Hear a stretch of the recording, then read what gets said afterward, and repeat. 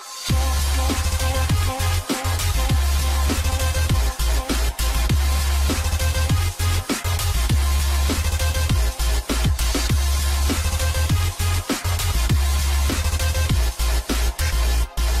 Hello tout le monde, c'est Lady, j'espère que vous allez bien. Aujourd'hui, je vais vous faire une série de trois vidéos dans lesquelles je vais vous montrer les prochains équipements qui seront en vente lors de l'événement d'Osiris. Donc à supposer qu'il y aura bien l'arrivée d'une faction. En tout cas, c'est vraiment plus on avance dans le temps et plus cette information me semble se confirmer. Ce qui est sûr, c'est qu'il y aura de nouveaux stuff qui vont sortir pour le tournoi euh, d'Osiris, donc le procès d'Osiris, pardon, donc le tournoi qui va sortir en PVP très prochainement, on n'a pas encore de date précise.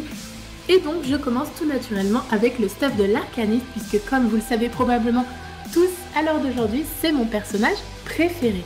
Donc deux vidéos seront à suivre concernant le chasseur et le titan, bien évidemment je ne les oublie pas, et je vous laisse apprécier la suite en images. Sachez bien évidemment que ce sont des ébauches, des dessins, donc vous n'avez pas un réalisme très très poussé, ce n'est pas encore vraiment définitif, mais ça vous laisse entreapercevoir un petit peu une idée de ce qui pourrait être à venir lors de ce prochain DLC.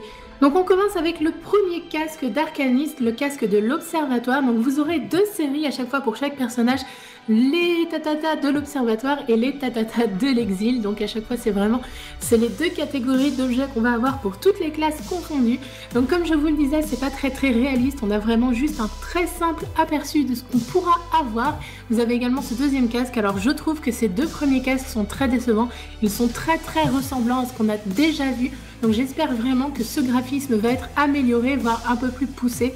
En tout cas, ce qui est sûr, c'est que la couleur dominante pour ces stuffs, ce sera bien évidemment du jaune. Donc j'espère que vous êtes fan du jaune parce que là, ça va péter.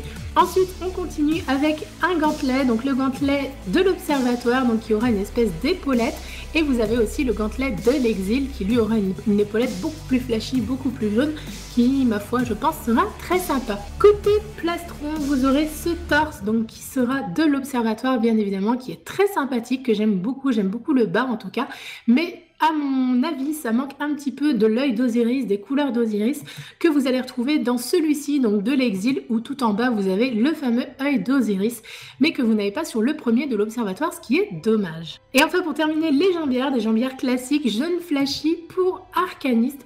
Donc voilà, comme je vous l'ai dit, vous n'avez pas un gros gros visuel de ce que l'on va avoir, puisque le site qui se nomme DestinyDB et qui fournit euh, ces visuels en 3D n'a pas encore vraiment développer cette technologie à fond et tout simplement n'a pas encore les informations qui manquent pour pouvoir réaliser des visuels complètement parfaits. Je pense que c'est des infos qu'ils ont grattées par-ci par-là vu qu'elles n'ont pas été diffusées officiellement par Bungie. Donc on a vraiment un visuel très vague, très évasif, mais au moins ça vous permet de vous donner une première toute petite idée de ce qui nous attend prochainement. Voilà, je vous retrouve tout de suite pour la suite, pour le chasseur et pour le titan. Gros bisous tout le monde